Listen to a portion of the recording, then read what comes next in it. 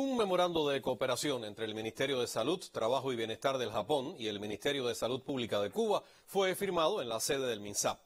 Su objetivo es promover los intercambios en temas como el fortalecimiento de los sistemas de atención primaria de salud, protocolos de cuidados y atención a adultos mayores, investigación y desarrollo, nuevos medicamentos y el enfrentamiento a enfermedades transmisibles y no transmisibles. Por primera vez se firma este memorando de cooperación entre ambas naciones, el cual desempeña un papel significativo de carácter humanitario bajo la pandemia de la COVID-19. Al rubricarlo, el embajador de Japón en Cuba, Fujimura Kazuchiro, reafirmó la voluntad de su nación por consolidar sus nexos en materia de salud. Por su parte, el ministro de Salud Pública de Cuba, José Ángel Portal Miranda, destacó que resulta imprescindible la cooperación y el intercambio de experiencias para vencer los retos que la COVID-19 impone a nuestros sistemas de salud.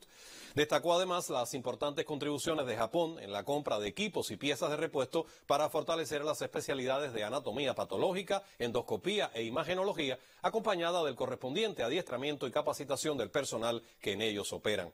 El titular de salud cubano agradeció el gesto de solidaridad en momentos en que el gobierno de Estados Unidos recrudece el bloqueo contra nuestro país.